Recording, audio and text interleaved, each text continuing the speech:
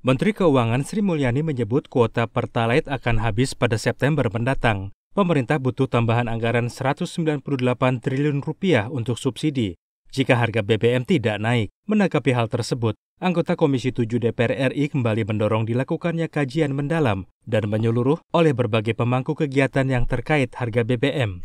Andi Yuliani mengkritik ketidakefektifan program My Pertamina dalam membantu pembatasan penyaluran BBM bersubsidi agar lebih selektif dan tepat sasaran. Menurutnya, Pertamina sebaiknya berkoordinasi dengan Korlantas Polri dalam memilih dan menetapkan kendaraan yang memang berhak menggunakan subsidi BBM.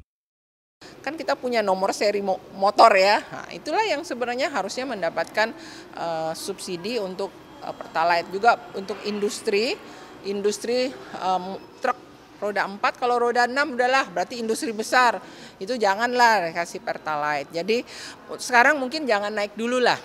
Anggota Komisi 7 DPR RI Sartono kembali mendorong revisi Perpres tentang penyediaan, pendistribusian, dan harga jual eceran BBM karena peraturan tersebut belum mengatur secara rinci kelompok masyarakat yang memang berhak menerima BBM bersubsidi.